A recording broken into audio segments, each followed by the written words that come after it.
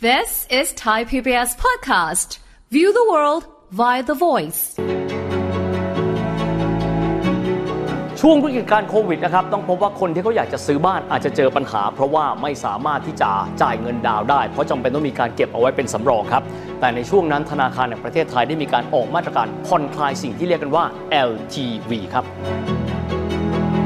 ธนาคารแห่งประเทศไทยจำเป็นที่ต้องมีการลดความเสี่ยง ด้านหนึ่งอาจจะทำให้ sector อสังหาริมทรัพย์นั้นหดตัวหรือไม่ฟู่ฟ้าเหมือนก่อนหน้านี้ แต่อีกด้านหนึ่งต้องยอมรับนะครับว่าเสถียรภาพทางการเงินนั้นมีความสำคัญ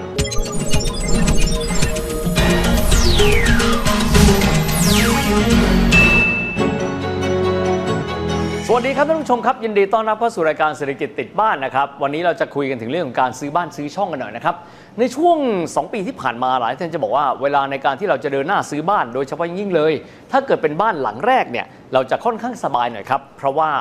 ทางภาครัฐเองนะครับ โดยเฉพาะยิ่งเลยธนาคารแห่งประเทศไทยเขามีการผ่อนคลายมาตรการที่เขาเรียกว่า LTV เดี๋ยวค่อยไปดูนะครับว่า LTV คืออะไร แต่บอกก่อนว่ามันไม่ใช่โทรทัศน์นะครับ โดยที่มาตรการนี้เนี่ยนะครับก็จะทำให้คนที่ซื้อบ้านหลังที่1นะครับ แล้วก็หลังที่ 2 ที่มีมูลค่าไม่เกิน 10 ล้านบาทนี้เนี่ยสามารถที่จะซื้อบ้านได้ก็คือกู้เงินได้เต็มจำนวน เช่น กรณีที่เกิดว่าบ้านหลังนี้มีราคา 8 ล้านบาท ก็กู้ได้ 8 ล้านบาทเลย แบบนี้เป็นต้นนะครับ หลายท่านอาจจะมีการตั้งคำถามว่า เอ๊ะ แล้วเจ้า LTV นี้เนี่ยมันคืออะไรกันแน่ เดี๋ยววันนี้มาเฉลยและอธิบายให้ฟังกันอย่างง่ายๆนะครับรวมถึงความจำเป็นครับของการที่ธนาคารแห่งประเทศไทยเขาออกมาบอกว่าไม่สามารถที่จะเดินหน้าในการที่จะผ่อนคลายมาตรการนี้ต่อไปได้อะเราเริ่มต้นมันก่อนเลยครับว่า LTV ย้ำมันไม่ได้เกี่ยวข้องอะไรกับโทรทัศน์นะครับ LTV ก็คือ loan to value ratio เป็นภาษาอังกฤษก่อนนะครับ มีความหมายว่าถ้าหากว่าเราจะเราจะกู้ยืมเงินหรือว่าโลนก็จะต้องมีการกำหนดเอาไว้ว่าเราสามารถที่จะกู้เงินเนี่ยได้เป็นกี่เปอร์เซ็นต์ของราคาบ้าน เช่น สมมติราคาบ้าน 2 ล้านบาทนะครับถ้ามาตรการตรงนี้เขาบอกว่าท่านสามารถกู้ได้ 90%ก็มีความหมายว่าเขาจะให้เงินกู้กับท่านเนี่ย1ล้าน8แสนบาท และท่านก็จะต้องมีการวางเงินดาวเนี่ย2แสนบาทด้วยกันอะมาแบบนี้ท่านจะถามว่า ก็ให้กู้เต็มจำนวนไปเลยดีอีกแค่ 10%มันจะเป็นอะไรไปนะครับหลักๆ เลยการที่จะต้องมีการกำหนดในส่วนนี้ที่บอกว่าจำเป็นต้องมีการให้วางเงินดาวเพื่ออะไรครับ เพื่อเป็นการลดความเสี่ยงครับ ต่อบรรดาเจ้าหนี้ก็คือสถาบันการเงินที่ให้สินเชื่อกับคนที่เข้ามารับบริการนะครับถามว่าสาเหตุเพราะอะไรนะครับเพื่อเป็นการย้ำให้มั่นใจครับว่าคนที่จะเดินหน้าเข้ามาแล้วซื้อบ้านเพื่อที่จะไปอยู่อาศัยนี้เนี่ยอย่างน้อยที่สุดมีหลักประกันเอาไว้ เพื่อไม่เป็นการนำไปสู่ความเสี่ยงจำนวนมากมาย ถ้าหากว่ามีการปล่อยกู้เต็มจำนวนไปแล้วเนี่ยที่สุดคนที่ซื้อบ้านไม่สามารถที่จะนำเงินมาผ่อนชำระได้ แล้วก็ยังไม่มีเงินวางเป็นเงินดาวเอาไว้ด้วย มันก็จะเกิดกับความเสี่ยงกับสถาบันทางการเงิน ถ้าเกิดว่าเยอะๆเข้าทั้งประเทศเลย ก็จะกลายเป็นความเสี่ยงของระบบเศรษฐกิจกันด้วยครับ แต่ทีนี้ครับ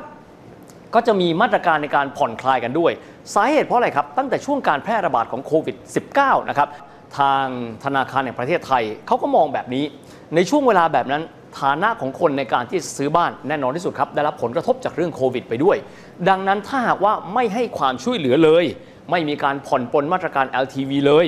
ที่สุดแล้วจะนำไปสู่การที่อุตสาหกรรมอสังหาริมทรัพย์นี้เนี่ยหดตัวลงไปท่านอาจจะถามว่าเอ๊ะแล้วสัดส่วนหรือขนาดของอุสาหอสังหาริมทรัพย์ในบ้านเราเนี่ยมันเทียบเป็นยังไงกันบ้างนะครับ อุตสาหกรรมอสังหาริมทรัพย์เนี่ยกินสัดส่วนประมาณ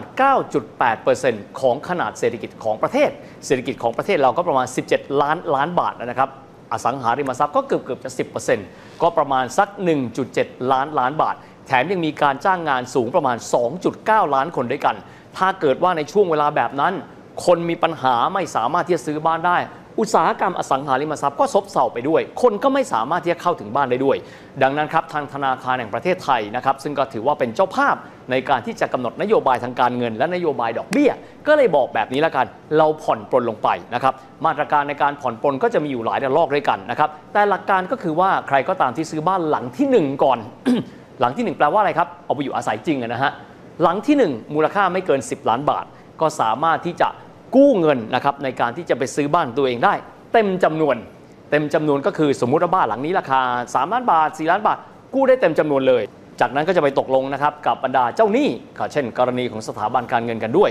นอกเหนือจากนี้ก็จะมีมาตรการเพิ่มเติมอีกซื้อบ้านเปล่าๆอยู่ไม่ได้ใช่ไหมฮะบอกว่าให้มีการกู้เพื่อเอาไปตกแต่งแล้วก็เฟอร์นิเจอร์เนี่ยอีก 10%ก็เป็นการกระตุ้นแหละครับ ให้คนที่เขาอยากจะมีที่อยู่อาศัย แต่สถานการณ์ท่ามกลางการแพร่ระบาดโควิด อาจจะไม่สามารถที่จะวางเงินดาวได้ ก็เดินหน้าในการซื้อบ้านได้ด้วย นอกเหนือไปจากนี้นะครับในช่วงการแพร่ระบาดระลอกที่ 3 คนที่จะซื้อบ้านหลังที่ 2 มูลค่าไม่เกิน 10 ล้านบาท สามารถที่จะขอกู้เงินได้เต็มจำนวนเหมือนกันคำว่าเต็มจำนวนก็ลักษณะเหมือนกันนี่แหละครับบ้านราคาเท่าไหร่ก็ตามแต่ไม่ต้องวางเงินดาวเลยแม้แต่บาทเดียว จากนั้นคนที่ซื้อบ้านหลังที่2นะครับมีมูลค่าแตกต่างกันไปรวมถึงหลังที่ 3 ทีนี้ก็จะมีการกำหนดนะครับในเรื่องตัวเงินดาวว่าจะต้องจ่ายเงินดาวเท่าไหร่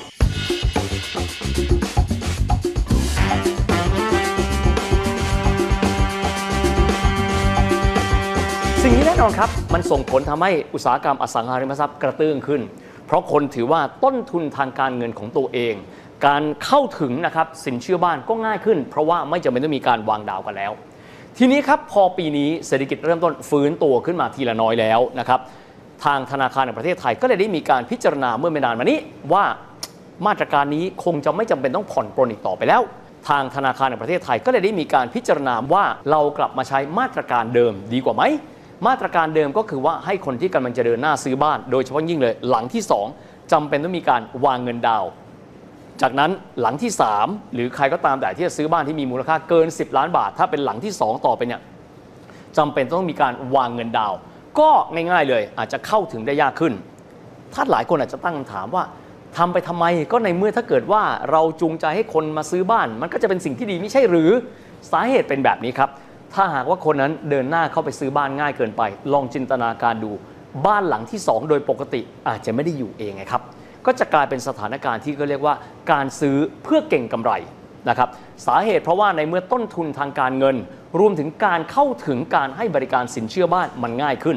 ถ้าหากว่าเป็นแบบนั้นนะครับก็จะนำไปสู่การที่คนเนี่ยใช้โอกาสทางการเงินในส่วนนี้ ในการที่จะเข้าไปซื้อบ้านหลาย ๆ หลัง ก็เก่งกำไรเกิดขึ้น ถ้าอาจจะถามบอกว่า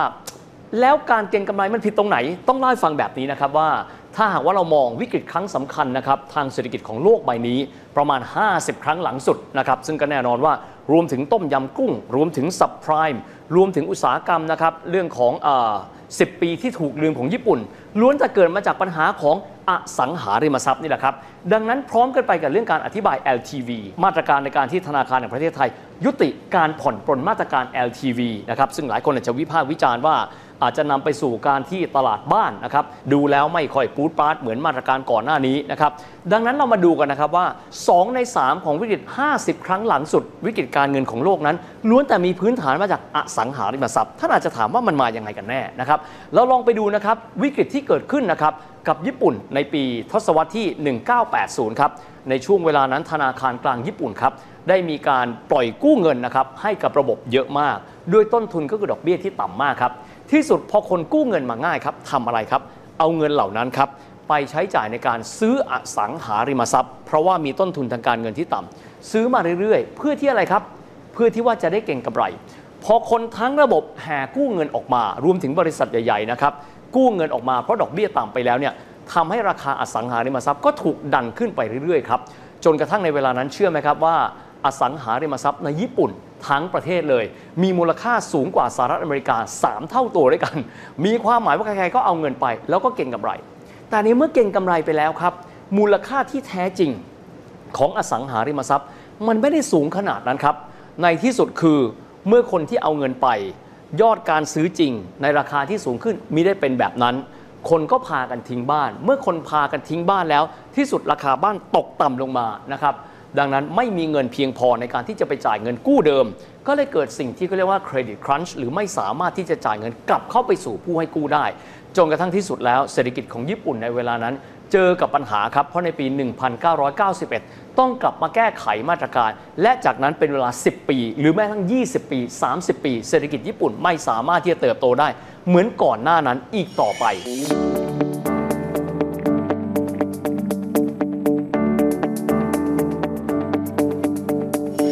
นกันเลยครับวิกฤตซับไพรม์หลายคนเคยได้ยินคำนี้นะครับวิกฤตซับไพรม์ก็เกิดจากกรณีนะครับที่ธนาคารกลางของสหรัฐก็คือ Federal Reserve นั้นมีการลดอัตราดอกเบี้ย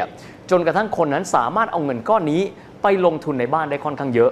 เมื่อลงทุนในบ้านค่อนข้างเยอะ แล้วก็ง่ายขึ้นด้วยทำให้อัตราบ้านนี้เนี่ยการซื้อจองบ้านมีจำนวนที่เยอะมากขึ้น เมื่อเยอะมากขึ้นราคาบ้านปรับตัวสูงขึ้นไปเรื่อยๆนะครับจนกระทั่งในที่สุดสูงกว่าอัตราก่อนหน้าที่จะมีการลดอัตราดอกเบี้ยเนี่ย เป็นจำนวนหลักเป็นเท่า แต่ในที่สุดเหมือนกันเลยครับ เมื่อคนไม่สามารถที่จะผ่อนชำระเงิน ค่าสินเชื่อบ้านได้ ในที่สุดก็เกิดการผิดนัดชำระหนี้เมื่อผิดนัดชำระหนี้ราคาบ้านก็ฟุบลงไป เมื่อราคาบ้านฟุบลงไป ก็นำไปสู่วิกฤตการณ์แต่กรณีของสับไพรม์นั้นต้องบอกว่าหนักหน่วงกว่า เพราะมีการเข้าไปผูกนะครับกับการทำตราสาร ซึ่งเราอาจจะไม่พูดคุยถึงที่นี้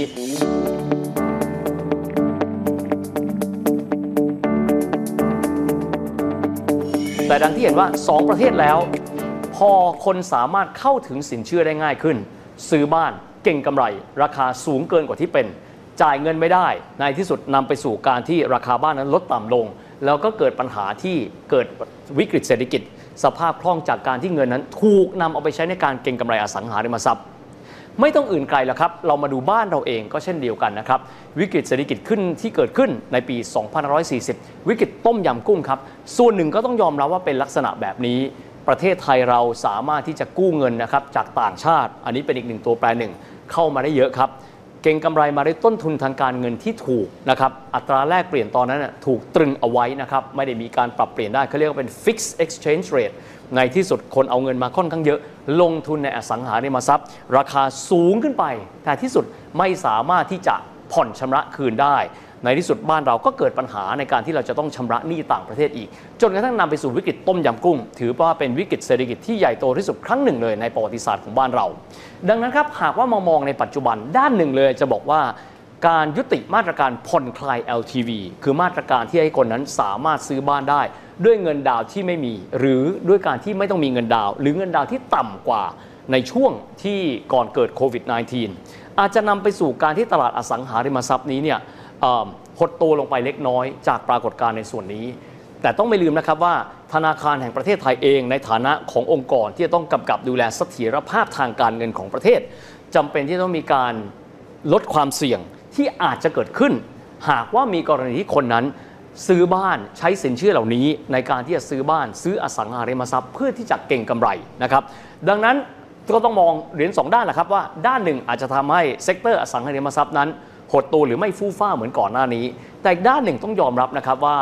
ทางด้านของเสถียรภาพทางการเงินนั้นมีความสำคัญ แต่ว่าต้องบอกไว้อย่างครับว่าสำหรับคนที่อาจจะซื้อบ้านเป็นหลังแรก และราคาไม่ถึง 10 ล้านบาท ณเวลานี้มาตรการผ่อนคลาย LTV ที่สามารถเดินหน้าซื้อบ้านได้ โดยที่ยังไม่ต้องมีการวางเงินดาวน์เลย พูดง่ายสามารถกู้ได้เต็มจำนวนนั้น ยังเดินหน้าอยู่ต่อไป ก็มีความหมายว่าแก้ไขปัญหาในแต่ละส่วน โดยที่ไม่แตะต้องคนที่เขาอาจจะต้องการซื้อบ้านเอาไว้อยู่เอง เพราะเป็นบ้านหลังที่หนึ่งกันด้วยนะครับ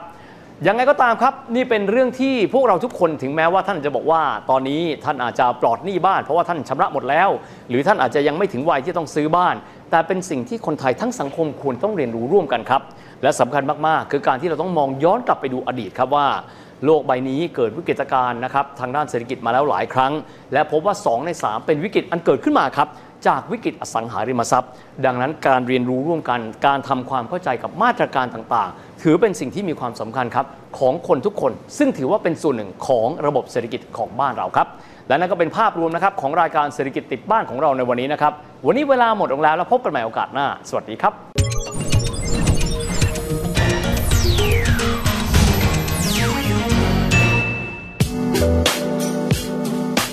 ติดตามรายการทางเว็บไซต์และแอปพลิเคชันของไทย PBS Podcast Spotify SoundCloud Google Podcast Apple Podcast และ YouTube Channel Thai PBS Podcast Thai PBS podcast. View the world via the voice.